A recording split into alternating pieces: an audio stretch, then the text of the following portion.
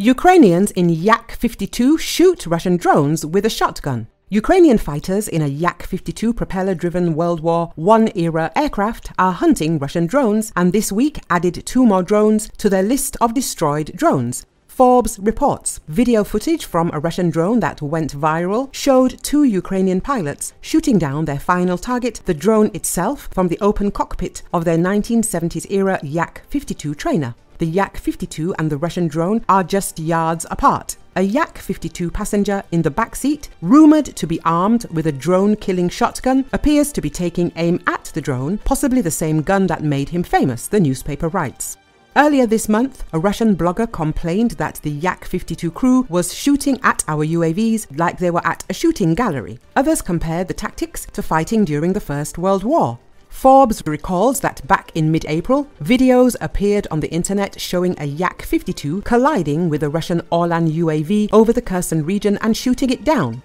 In early June, a similar video appeared online, this time filmed by Russians. It shows a Yak 52 shooting down a Russian Zala reconnaissance drone. In addition, photographs that appeared on social media on Tuesday showed kill marks on the side of the Yak 52, at least six Orlan and two Zala drones. Video footage taken appears to show another pair of marks, suggesting Ukraine's drone hunters have had a busy week. Forbes writes. When the first videos of the Yak 52 fighting against drones appeared, some observers suggested that the aircraft crew was firing at the drones from underwing cannons or missile launchers, Forbes writes.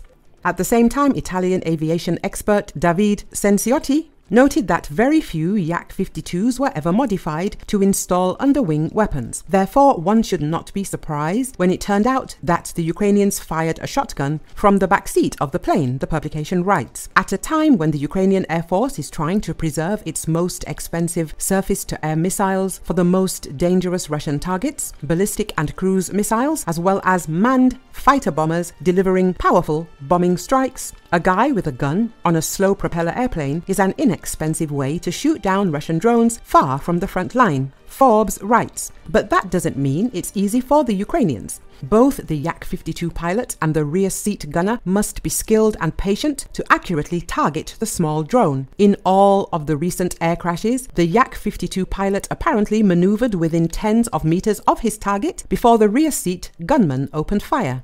Earlier, it was reported that in Odessa, the Orlan 10 was destroyed from a training Yak 52.